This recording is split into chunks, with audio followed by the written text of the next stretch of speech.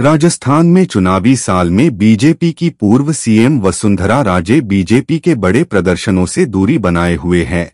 राजनीतिक विश्लेषक वसुंधरा राजे की दूरी को मुख्यमंत्री के चेहरे से जोड़कर देख रहे हैं, क्योंकि इस बार बीजेपी पीएम मोदी के चेहरे पर विधानसभा चुनाव लड़ेगी। इससे पहले जेपी ने लगातार दो बार वसुंधरा राजे के चेहरे पर ही चुनाव लड़ा था। सियासी जानकारों का कहना है कि इस बार हालात बदल गए हैं। राजे की भूमिका को लेकर फिर से अटकलों को बाज़ार गर्म हो गया है। अपनी उपेक्षा से वसुंधरा राजे नाराज़ है। वसुंधरा राजे ने हाल ही में जयपुर में हुए बड़े प्रदर्शन से दूरी बना ली थी। बता दें, हाल ही में केंद्रीय मंत्री शेखावत ने कहा कि पीएम मोदी के चेहरे पर ही चुनाव लड़ेंगे। केंद्रीय मंत्री देश प्रदेश में घूम घूम कर यह बात कह रहे हैं। इससे वसुंधरा राजे कैंप नाराज़ बताया जा रहा है उल्लेखनीय है कि चुनावी साल में प्रदेश बीजेपी ने नहीं सहेगा राजस्थान अभियान की बड़े स्तर पर शुरुआत की खुद पार्टी अध्यक्ष जेपी नड्डा ने इसका आगाज़ किया। एक अगस्त को पार्टी ने बड़े स्तर पर बड़े स्तर पर प्रदर्शन किया, लेकिन इससे पूर्व मुख्यमंत्री वसुंधरा राजे दूर रहीं। जबकि मंच पर राजे की कुर्सी रिज़र्व रखी गई थी। हालाँकि कुछ पार्टी के नेताओं का यह भी मानना है कि मंच पर लगे पोस्टर से वसुंधरा राजे की फ़ोटो नदारत थी। ऐसे में राजे ने प्रदर्शन में आने का निर्णय बदला। प्रदर्शन से दो दिन पहले फिर नड्डा जयपुर आए थे और उन्होंने चुनाव की तैयारियों के साथ ही इस प्रदर्शन के बारे में भी फीडबैक लिया था। राजे की गैर मौजूदगी पर बीजेपी के प्रदेश अध्यक्ष सीपी जोशी ने सफ़ाई दी कि कुछ नेता पारिवारिक कारण से प्रदर्शन में शामिल नहीं हो पाए। सीएम गहलोत ने वसुंधरा राजे की प्रदर्शन से दूरी पर बीजेपी को घेरा। गहलोत ने कहा, दो बार की मुख्यमंत्री प्रदर्शन में शामिल नहीं हुई।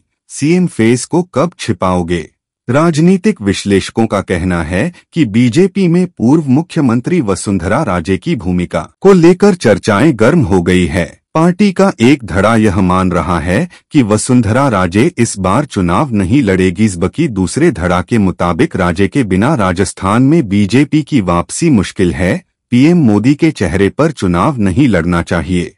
सियासी जानकारों का तर्क है कि हमेशा चुनावी मोड में रहने वाली बीजेपी राजस्थान को लेकर जिस तरह से असमंजस की स्थिति से गुजर रही है, उसका प्रदेश बीजेपी को हर दिन नुकसान भी हो रहा है। हाल ही में जयपुर में सरकार के खिलाफ जिन दावों को लेकर घेराव की रणनीति बनाई गई थी। कसौटी पर वे तमाम दावे पूरे होते हुए नज़र नहीं आए। सियासी जानकारों का कहना है कि विधानसभा चुनाव में अब ज़्यादा समय नहीं बचा है। इसे डेढ़ महीने बाद आचार संहिता लग जाएगी, लेकिन बीजेपी ने वसुंधरा राजे की भूमिका को तय नहीं किया।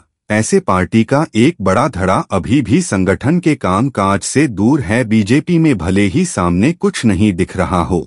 लेकिन अंदर बड़ा उबाल चल रहा है। राजे की भूमिका को लेकर बीजेपी में चल रहे इस असमंसच के चलते ही बीजेपी कार्यकर्ताओं के बीच चुनाव माहौल को वो गति नहीं दे पा रही जो चुनावी साल में होनी चाहिए। विधानसभा चुनावों की तैयारी में जुटी भाजपा पूरी तरह एक्टिव मोड में आ गई है। पार्टी कार्यकर्ताओं में एकजुटता व समन्वय स्थापित करने के लिए प्रदेश नेतृत्व के साथ अब केंद्रीय पदाधिकारी भी फ़ील्ड में उतर गए हैं। वे लगातार जिलों का दौरा कर पदाधिकारियों से संवाद स्थापित कर चुनावों की रणनीति बनाने में जुटे हैं। इसके तहत रविवार को भाजपा प्रदेश प्रभारी व राज्यसभा सांसद अरुण सिंह दौसा ज़िले के दौरे पर आएँगे। प्रदेश प्रभारी रविवार दोपहर ज़िले के मेहंदीपुर बालाजी पहुँचेंगे, जहाँ वे होटल वेदांता में पार्टी पदाधिकारियों की बैठक लेंगे।